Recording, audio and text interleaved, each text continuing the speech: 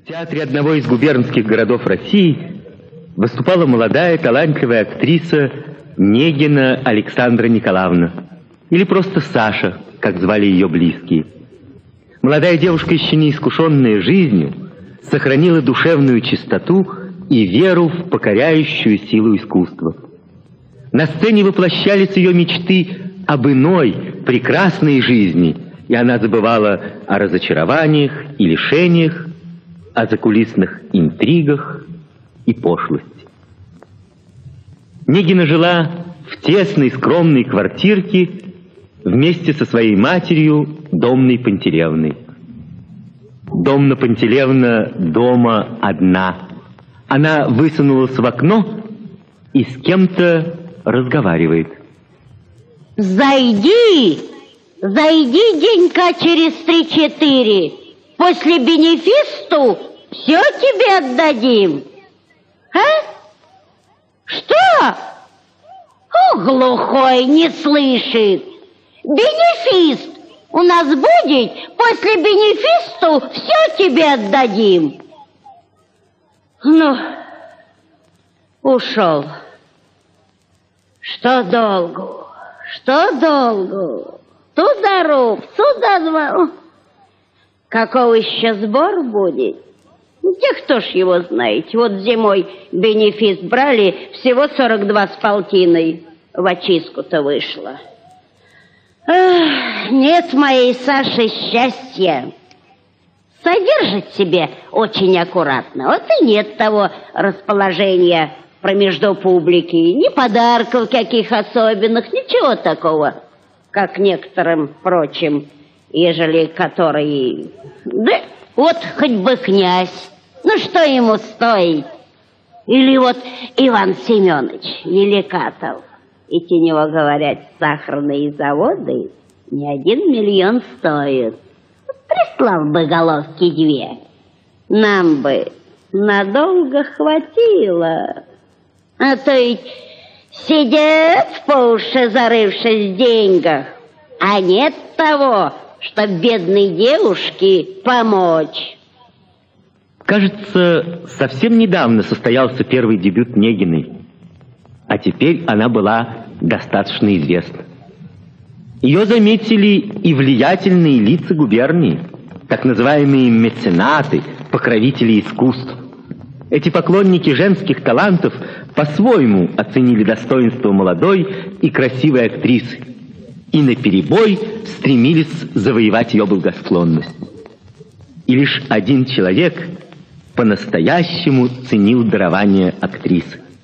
То был старый помощник режиссера Мартын Прокофьевич Нароков, нежно, всем сердцем любивший талантливую девушку. Он часто посещал квартирку Негиных. Кто это? А, Прокофьев, здравствуй. Здравствуй, Прокофьевна. Да я не Прокофьевна, я Пантелеевна. Что ты? И я не, не Прокофьевич. Я Мартын Прокофьевич. Ах, извините, господин артист. А уж коли хотите быть со мной на «ты», зовите просто Мартыном. Все-таки приличнее. А что такое Прокофьевич? Вульгарно, мадам, очень вульгарно. Люди-то, батюшка, мы с тобой маленькие. Что ж нам эти куплементы разводить? Маленькие? Не, я, я не маленький человек, извините. Так неужели большой? Большой. Хм, так теперь и будем знать. Я могу сказать тебе, как лир, каждый вершок меня, парень. Я человек образованный, учился в высшем учебном заведении, а был богат. Это? Я-то... Да уж ли. Ну что ж мне, божиться, что ли, тебе? О, ну нет, зачем мне божить? Я и так поверю. Отчего ж ты шофлером служишь? Я не, не шуфлер э, и, и не суфлер, мадам, и, и не суфлер даже. Я, я помощник режиссера. Здешний театр был мой. Твой? О, скажите, наверное. Я его пять лет держал. А Гаврюшка-то был у меня писарем, роли переписывал. Гаврил Петрович, он придерся здешний. Он самый. Ух ты, Борька, да что ж тебе в этом тетрашном деле Бог счастья не дал, что ли? Счастье, счастье, да я, я, я не знал, куда девать счастье. Вот сколько его у меня было. Так отчего ж ты в упадок-то пришел? Пил, должно быть. Куда ж твои деньги девались? Никогда я не пил, никогда. Я, я все свои деньги за счастье заплатил. Да какое ж такое счастье у тебя было? А такое счастье, что я, я делал любимое дело. Я люблю театр, люблю искусство, люблю артистов, понимаешь ты? Продал я свое имение, денег получил много и стал антрепренером. Разве это нельзя назвать счастьем? Снял здешний театр, отделал все заново, декорации, костюмы, собрал хорошую труппу и зажил, как в раю. Есть ли сборы, нет ли сборов, я на это не смотрел. Я всем платил большое жалование аккуратно. Поблаженствовал я так пять лет. Вижу, что деньги мои под исход. По окончании сезона рассчитал всех артистов, сделал им обед прощальный, поднес каждому дорогому подарку на память обо мне. Ну, а что ж потом-то? А потом, что ж потом, Гаврюшка снял мой театр, а я пошел в службу к нему. Платит он мне теперь небольшое жалованишко, так, по моей, уплачивает за все мое обзаведение. Вот и все, милая дама. Кем ты только и кормишься? Ну, нет, нет, хлеб-то я всегда себе достану. Я уроки даю, в газет корреспонденции пишу, перевожу. А служу Гаврюшке, потому что... Потому что от театра отстать не хочется. Искусство люблю очень. И вот я, человек образованный, с тонким вкусом, живу теперь между грубыми людьми, которые на каждом шагу оскорбляют мое артистическое чувство. Что это? Что это за, за, за книги у вас? Ой, Саша учится, к ней учитель ходит. Учитель? Какой учитель? Ну, студент Петр Егорыч. Чай знаешь его? Знаю. Кинжал в грудь, по самую рукоятку. Ой, да что ж так больно строго? Без сожаления. Ну, погоди колоть. Он жених Сашин. Жених? Там еще видно будет, что Бог даст, а все-таки женихом зовем. Познакомилась Саша где-то с ним, стал к нам ходить. Ну, как же его назвать? И говоришь, что, мол, жених. А то, что соседи-то заговорят, да? И отдам, коли место хорошее получит. Где же женихов-то взять? Да за него что не отдать? Парень смирный, Саша его любит. Любит? Она, она его любит? Ну, а чего ж его не любить? Ну, что в самом деле? По театрам трепаться молодой девушке никакой основательности в жизни получить себе нельзя. И это, это ты говоришь? А я говорю, и уж всегда говорю, ничего хорошего, а кроме дурного. Да ведь твоя дочь талант. Талант. Она же, она рождена для сцены. Для сцены, для сцены, это что говорить? Она еще маленькая была, так бывало из театра-то не вытащишь. Стоит за кулисами, вся трясет. Муж-то мой, отец-то ее музыкант был, на флейте играл. Но, как бывало, он в и она за ним. И прижмется к кулисе, стоит, не дышит. Вот видишь, видишь, ей, ей, ей только на сцене и место. Да уж куда, какое место прекрасное. Да ведь у нее же, у нее страсть. Пойми ты, пойми ты страсть. Сама что ты говоришь. Ну, хаша бы и страсть, да ничего хорошего, кроме дурного. Это вот вам бездомовым да беспутным. Невежество! Кинжал в грудь! По самую рукоять! Да ну тебе с твоими кинжалами-то у вас ведь путного на сцене ничего нет. А я держу свою дочь на замужней линии. Хм, со всех сторон это к ней лезут, да подлипают, разные глупости уши шепчут. А, князь Дулепов тоже повадился. На старости лет ухаживать вздумал. Как думаешь, хорошо это? Князь Дулепов лежал в грудь рукоятку. Ох уж много ты очень народу переколол. Много. Ай, и все живы. Все живы. И даже все в добром здоровье. Ну, на, на-ка вот, на, отдай ей. Это что ж такое? Роль я сам, сам переписал для нее. Да что же за аппарат такой? На тонкой бумаге связано шелковой ленточкой. Ну, ну ты ей отдай. Отдай, ну что тут разговаривать? Да к чему же эти нежности при нашей бедности? Небось ведь за ленточку-то последние двугривенные отдал. Ну что ж такое? Ну ходи последний. Ну что же из этого? Ручки у нее хорошенькие, а душа еще лучше. Нельзя же ей грязную тетрадь подать. Ах, Да к чему? К чему Ну что ты все удивляешься? Ну все это очень просто, естественно. Да так и должно быть, потому что, потому что я в нее влюблен. Батюшки, час от часу не легче, да ведь ты старик, и ты старый шутый, какой ж ты еще любви захотел. Да ведь, ведь она, она хороша.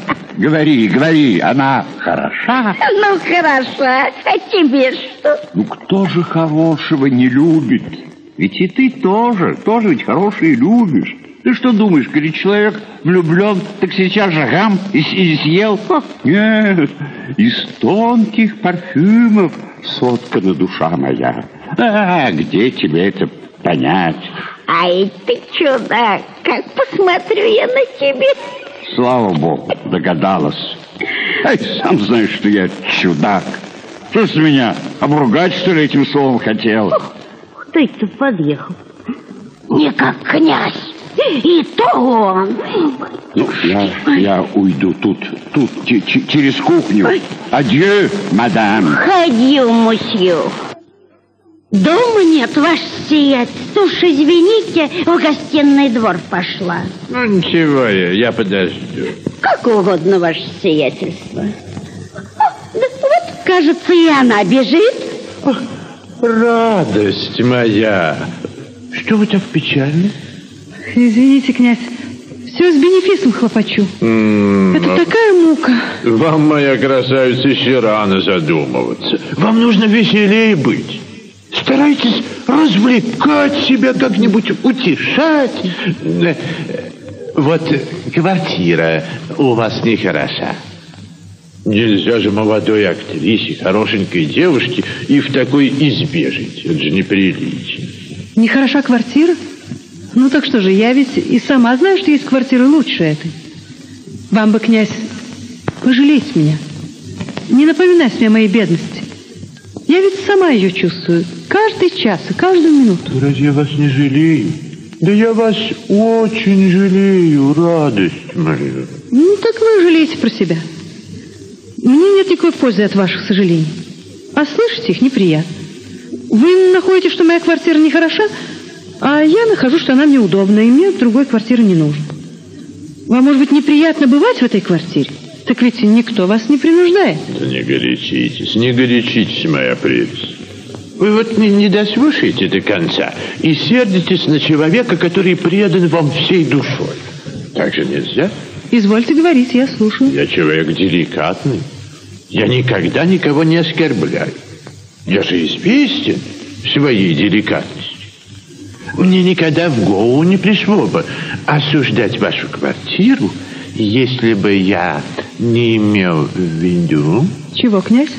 предложить вам другую. Лучше гораздо. За ту же цену? Какой вам дело до цены? Я что-то не понимаю, князь. Вот видите ли, мое блаженство. Я человек очень добрый, нежный. Ну, это тоже всем известно. Я, несмотря на свои лета, до сих пор сохранил всю свежесть чувства. Я и, и теперь могу увлекаться, как юноша. Я очень рада. Э, только какое же это имеет отношение к моей квартире? Очень просто. Неужели вы ничего не замечаете? Я же люблю вас. Лелеять вас, баловать, это было бы для меня блаженство. У меня очень много нежности в душе, и мне просто нужно ласкать кого-нибудь. Я без этого не могу. Ну, ну, подойдите же, подойдите же ко мне, мой птенч. Вы с ума сошли? Грубо, мой друг, не, грубо. Да с чего вы вздумали? Помилуйте, я вам никакого повода не подавала. Как вы осмелились выговорить? Потише, потише, мой дружочек. Это, что же это такое? Приехать в чужой дом и вдруг ни с того ни с сего затеять грубый, обидный разговор. Потише, потише, пожалуйста. Вы еще очень молоды, чтобы так рассуждать. А вот это мило. Вы еще молоды. А что же значит, молодых можно обижать, и они должны молчать? Да какая тут обида? В чем обида? Дело самое обыкновенное. Вы не знаете ни жизни, ни порядочного общества и осмеливаетесь оскорблять почтенного человека. Да что вы в самом деле? Ах, боже мой, нет, это высший сил, высший сил. На все есть приличная форма, сударыня. Не нравится вам мое предложение, так вы все-таки прежде всего должны были бы меня поблагодарить. Или высказать ваше нежелание учтиво, но, наконец, на шутку свести. Ах, оставьте меня. Оставьте меня. Не нужно мне ваших нравоучений. Я сама знаю, что хорошо и что дурно. Ах, боже мой, я, я просто не желаю вас слушать, наконец. Что вы кричите? От чего же мне не кричать? Я у себя дома, мне совершенно некого бояться. А, и прекрасно. Только вы помните, радость моя, что я обид не забываю. Ну, хорошо. Хорошо, буду помнить. Извините, пожалуйста. Я думал, вы девица благовоспитанная. Я никак представить себе не мог, что вы из-за всякой малости расплачетесь, э, как кухарка. Ну, хорошо. Я кухарка. Только я желаю быть честной. О, поздравляю вас. Только вы помните, что честности одной мало. А нужно быть поумнее и поосторожнее, чтобы потом не плакать. Билет мне не пришивайте. Я не поеду на ваш бенефис. Мне нет. Что такое? Что тут у вас? Князь ушел, уж не рассердился Да, он? пускай его сердится. Что ты? Опомнись, перед бенефистом-то да в уме ли ты? Да ведь невозможно. Что он говорил, если бы вы слышали? Да пускай и говорит, от его слов тебя не убудет. Да ведь вы не знаете, что он говорил. Ну, что же, правда, вмешиваетесь не в свое дело? Очень я знаю, очень прекрасно все это знаю, что мужчины говорят. И можно это слушать равнодушно? А что ж такое? Городи сколько хочешь, пусть его мерит в свое удовольствие. А да посмеивайся. Ах, не учите, оставьте, маменька. Я сама знаю, как себя вести. Уж и видно, что знаешь. Перед самым бенефистом побронилась ты с таким человеком. Маменька, да разве вы не видите, я расстроена? Я дрожу вся, а вы ко мне пристаете. Нет, ты погоди, ты выслушай от матери резон. Как же это перед бенефистом брониться, ежели которые люди тебе нужны? Не могла ты подождать-то? Ну, после бенефисту бронись сколько хочешь. Я тебе и слова не скажу. Потому нельзя и им тоже волю давать. Ограничить следует. Ах ты, мол, пугало огородное. Маменька, да довольно уж. Он, кажется, кто-то подъехал. Ну, идите, маменька, кому интересны наши с вами умные разговоры слушать? Так вот, не уйду же. Ишь ты, сама разобидеть мать как нельзя хуже, да разные претензии представляет.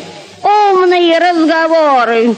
Не глупей тебе, студентом с твоим, с лохматым. Великатов!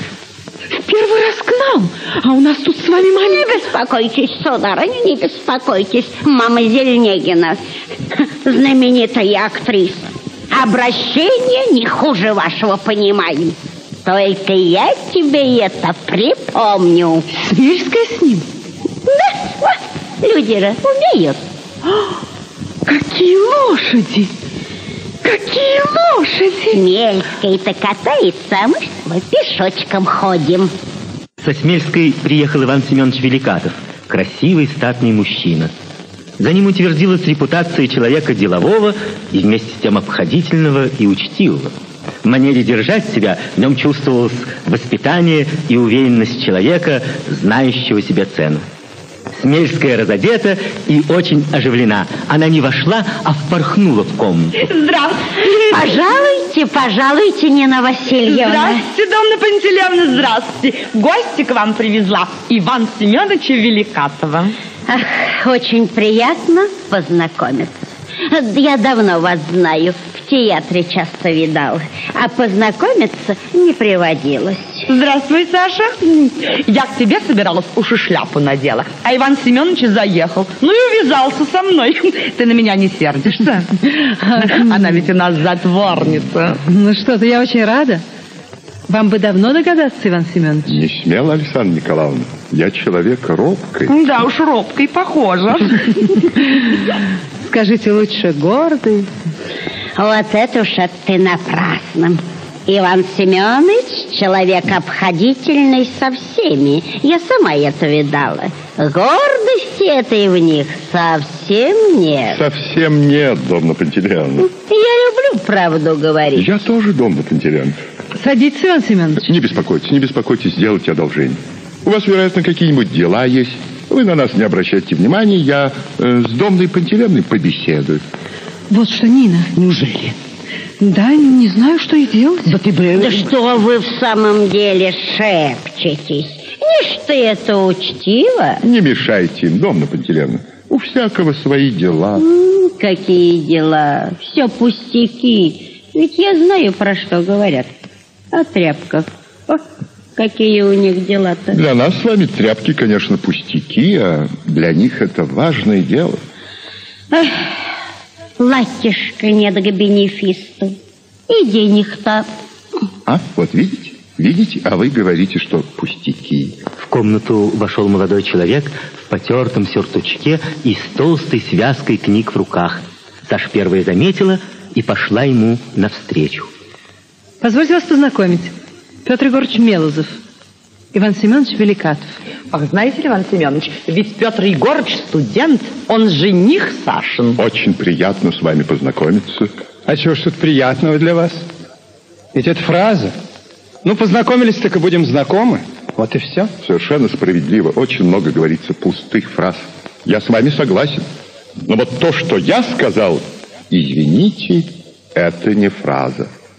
Мне приятно, что артистки выходят замуж за порядочных людей. Да, коли так, благодарю вас. Ну, едемте, Иван Семенович, едем. К вашим услугам. Честь имею кланяться. Какие у вас лошади. Вот бы прокатиться когда-нибудь. Когда вам угодно. Вы прикажите только. Донна Пантелеевна, мое почтение. Ах, как вы на мою тетеньку похожи. Да уж ли. Удивительно, удивительно. Такое сходство. Я, я чуть не назвал вас тетенькой. Да зовите. Зачем же дело стало? Ну, едемте, Иван Семенович. Да Прощай, Саша, прощайте, Иван Семенович. До свидания, тетенька. Прокурат. А ты говоришь, он гордый. Ничего не гордый. Уж на что еще обходительнее. М?